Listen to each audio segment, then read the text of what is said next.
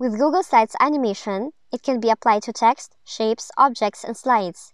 Sometimes a simple transition or fade in can make a world of difference, allowing you to pace the flow of information or communicate processes and changes more effectively. You can also animate lists one click at a time as you present, and here's how.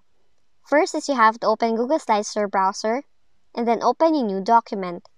Add in the object or objects that you want to appear by going to the Insert tab, and you can either select a picture, shapes, text box, or anything.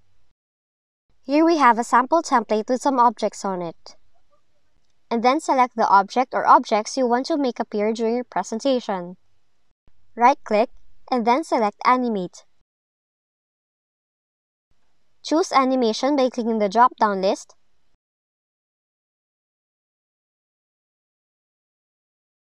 and just make sure that the Start option is set to On-Click. Otherwise, the animation may proceed automatically without you clicking a button.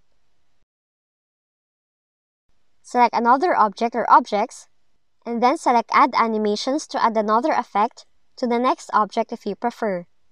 Those objects will appear when you click the mouse button again on that slide during your presentation.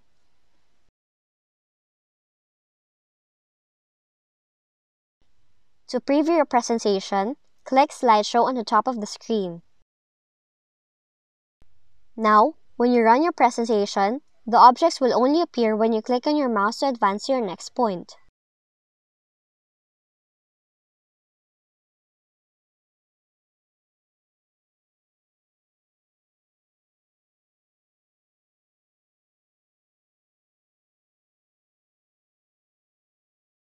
If you found this video helpful, kindly like and subscribe.